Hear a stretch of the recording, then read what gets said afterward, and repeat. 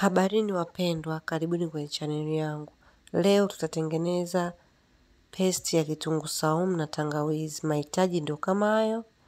Kwenye blender nitaweka mafuta, nitaweka na tangawizi nilizomenya na katakata, nitaweka na vitunguu saumu. Kisha nitasaga.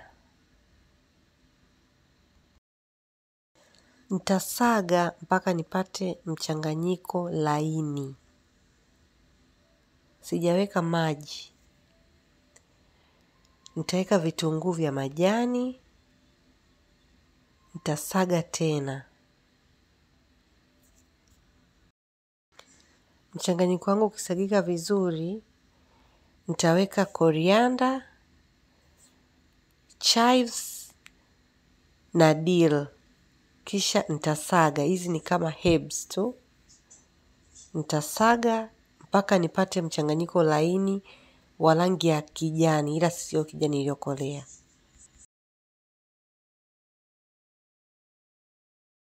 Hakikisha unasaga mpaka kila kitu kinalainika kabisa.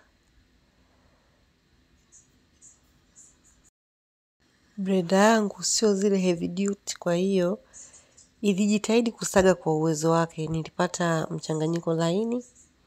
Ukishamaliza mimina kwenye chupa, kisha funika na uhifadhi. Mchanganyiko huu sio lazima uweke kwenye friji, unaweza ukaweka kabatini tu na usiharibike kwa muda wa wiki kadhaa.